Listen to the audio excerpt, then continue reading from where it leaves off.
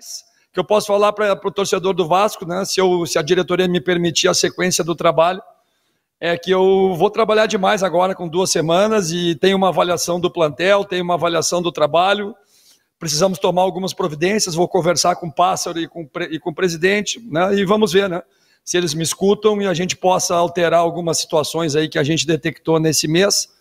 E agora, com mais um pouco de tempo de trabalho, de jogo a jogo, a gente poder ser mais assertivo ainda nas partidas e transformar a produção que a gente teve hoje em gols, porque o que faltou hoje foi a bola entrar, a gente botar a bola para dentro.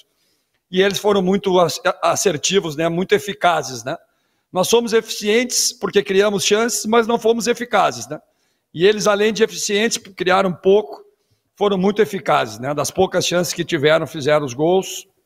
Então, isso é que define uma partida. Então, acho que isso é que, que fica de lição hoje. Mais uma vez, pedir desculpa para o torcedor do Vasco. É, meu amigo. E após essa declaração do Lisca depois do jogo e da derrota para o Operário sábado, estamos começando mais um No Radar Vascaíno. Seja bem-vindo ao canal. Caso seja sua primeira vez, comenta, compartilha, deixa seu like, se inscreva no canal e ative o sininho para receber as notificações. Você pode nos ajudar se tornando um membro Seja membro do canal, a partir de R$ 2,99 você ajuda o canal a permanecer no ar. Você também tem a opção do Pix. O Pix é no radar vascaíno, arroba gmail.com. No radar vascaíno, arroba gmail.com.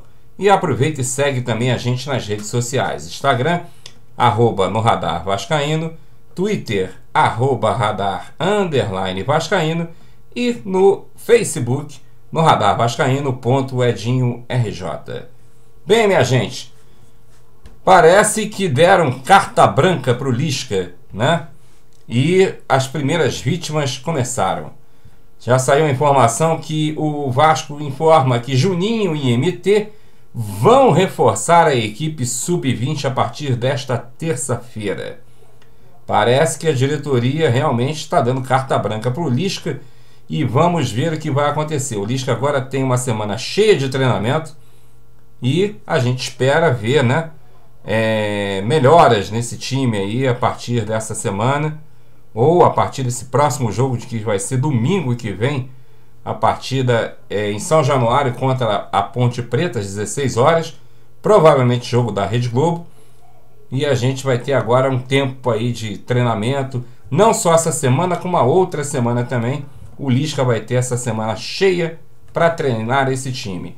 Agora, torcida, vamos acordar, né? E esperar reforços e ainda reforços mesmo de peso, eu acho meio difícil. Vamos fazer uma pergunta? Aliás, vamos esclarecer umas, umas coisinhas aqui. O clube deve 850 milhões e provavelmente mais. Essa é a informação que a gente tem. O clube tem um problema na justiça trabalhista que está devendo 93,5 milhões de reais ou 93 milhões e meio de reais. Né? Aí eu pergunto para você: você acha que vem algum jogador mesmo sendo contratado? Bom? Ou vai ser jogadores a nível de Rômulo, Michel, Hernando, jogadores experientes, né? Isso preocupa, né? Então, não vamos nos iludir com jogador A, B ou C, porque esse tipo de jogador dificilmente vem para o Vasco. A situação do Vasco é caótica e a gente já sabe que vai ficar difícil. A Justiça reconheceu o direito do Vasco de centralizar a execução de dívidas trabalhistas. A decisão do presidente do TRT1 dá prazo de 60 dias para o clube apresentar plano de pagamento. A matéria que está em atualização diz o seguinte: a desembargadora Edith Maria Correia Tourinho, presidente do Tribunal Regional do Trabalho da Região 1, reconheceu o direito do Vasco em centralizar a execução de todas as suas dívidas trabalhistas. No despacho, publicado nesta segunda-feira, a magistrada deu um prazo de 60 dias para o clube apresentar um plano de pagamento. Na decisão, a desembargadora ainda negou o pedido do Vasco para suspender o regime especial de execução forçada, o REF, determinado por Fernando Reis de Abreu, gestor da centralização do TRT1, que cobra 93 milhões em dívidas com ex-funcionários. Esta cobrança foi feita após o clube ser excluído do ato trabalhista. A manifestação da presidente do TRT1 ocorreu após o Vasco ingressar no último dia 10 de agosto com o pedido de instauração do regime centralizado de execuções, o RCE, uma possibilidade prevista na recente lei que instituiu o clube empresa no Brasil. A legislação garante o direito de centralizar as cobranças para, ao evitar penhoras individuais, pagar seus credores em até seis anos, mediante repasse de 20% da receita mensal.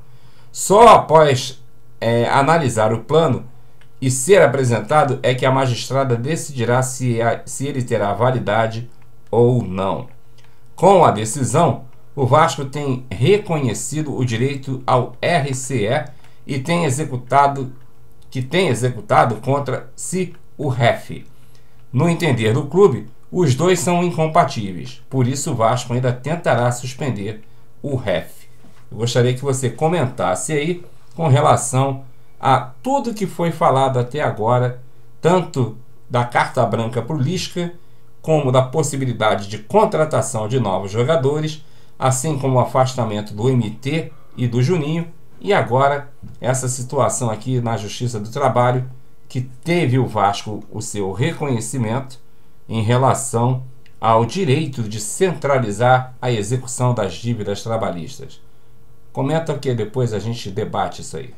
E continuando falando sobre o Lisca, Lisca pede até três contratações e direção do Vasco garante esforço para reforçar o elenco. Reunião com o presidente subjúdice Jorge Salgado e Pássaro reforça a união pelo acesso à Série A e faz diagnósticos após um mês de trabalho do treinador. O presidente subjúdice Jorge Salgado e o diretor executivo de futebol Alexandre Pássaro ouviram do treinador o pedido de até três reforços. Garantiram a ele que, apesar das dificuldades, farão o esforço necessário para atender a solicitação.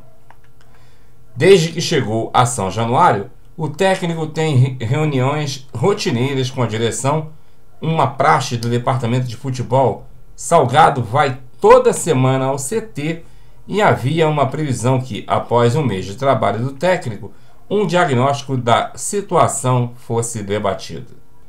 O Vasco ocupa a 11 posição do Campeonato Brasileiro com 28 pontos e tem 5 pontos a menos do que o último integrante do G4. É, diretoria, tá na hora de acordar e botar esse time nos trilhos, senão não vai subir. E agora, se prepara, porque a hora de vocês tá para chegar. Bem, minha gente, esses eram os assuntos que eu gostaria de abordar agora e no Radar Vascaíno volta a qualquer momento. Um forte abraço para você e a gente se vê. Valeu!